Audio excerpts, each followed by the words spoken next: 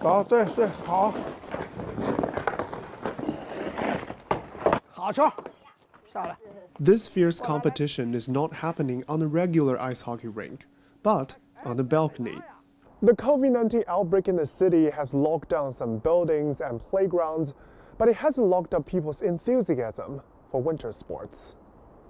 The maker of the balcony rink is 66 year old Zhang Baoqi. The idea came to him last year, but he nearly didn't pass this first test.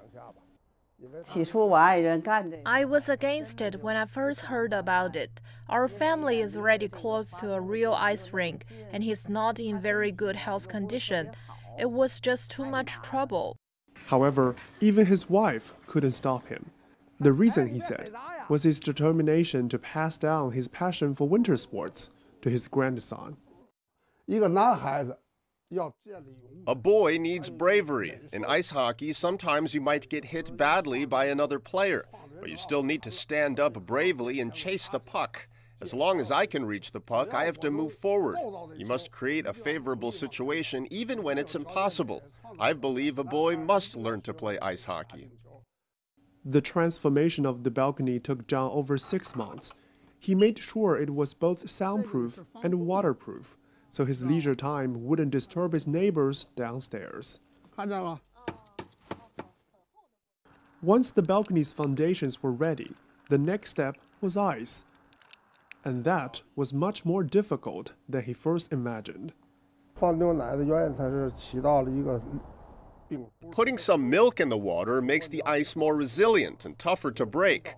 You have to pour the water at noon so the surface will be level when the water is frozen by midnight. At the beginning, I didn't know that and poured the water at midnight, and it froze to ice almost immediately, making the surface very uneven. 它立马它就动了。 There was a lot of trial and error in the experiment, of course, but Zhang finally got it right in the end. He immediately called his daughter and grandson to surprise them.